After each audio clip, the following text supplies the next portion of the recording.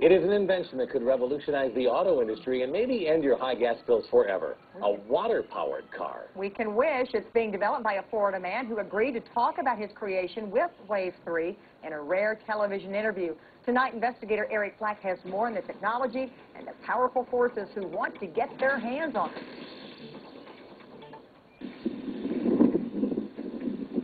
Whether you're trying to catch a fish or maybe just swimming with them, life can be pretty laid back along Florida's Gulf Coast. Hydrogen technology? That is until you step into the offices of hydrogen technology applications in Clearwater. It's been totally out of control. Thousands and thousands of calls. I get probably 200 emails every hour. You send it through the website, right? Yeah, that's that's in, in a pile of over 50,000 emails. People just can't stop talking about Denny Klein's water-powered car. They want to be partners with us. They want to sell our product. They want to uh, invest in us. This car is just a 1.9 liter gasoline engine. Uh, in Europe, we've done some extensive testing again with uh, basically small diesel. It runs on what is called aquygen, which is water or H2O broken down into HHO gas.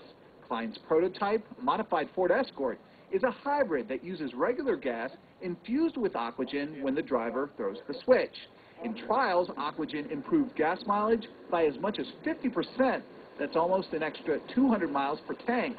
And Klein says an adapter for your car could be on the market sooner than you think.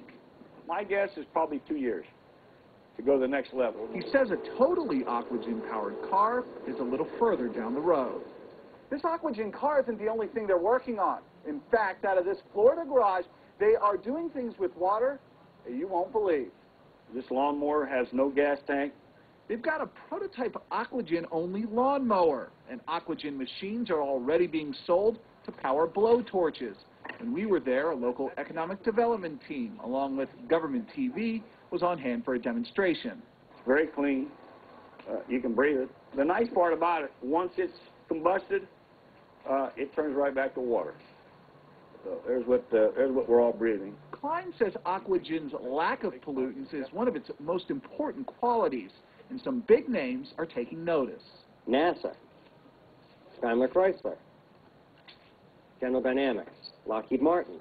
But thanks to those sky-high gas prices, it's Klein's car that has grabbed the spotlight and thrown them into it. You know, timing's everything, and I think our timing's probably better now than, than ever. And that's got his team believing they may be on the verge of history. Are you going to change the world? Uh, I think so. I think we are. I, I, I do think we are.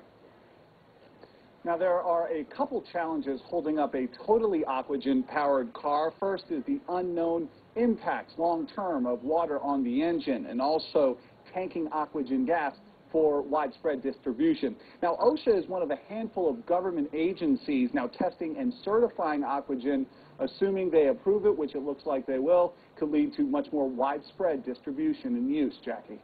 And Eric, one of the other questions is how you contain it. Was that part of what he's having to deal with too? Yeah, I think that they do have a way to contain it as far as infusing it into gasoline, containing it to use it just solely Aquygen, to have like a totally Aquygen-powered car. That's their next challenge. All right. Fascinating story. Uh, keep us posted if you hear anything new. We sure will. Thanks, Sarah. All right.